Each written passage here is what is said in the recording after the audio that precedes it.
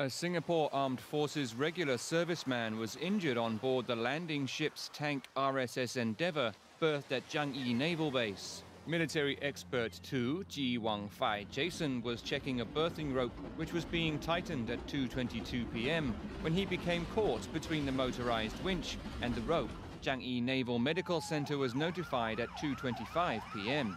At 2.30 pm, a medical team stabilized Chee before carefully extracting him. Chee was taken to Changi General Hospital by an SAF ambulance at 3.26 pm.